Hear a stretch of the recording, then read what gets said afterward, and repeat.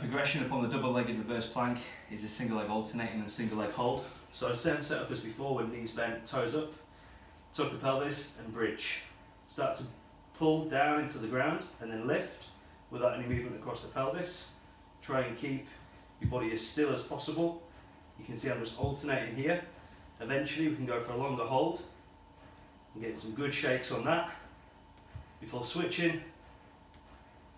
Progress and hold for as long as you can, providing that you're keeping some nice control across the pelvis and not starting to extend or use your upper back to achieve this movement as well.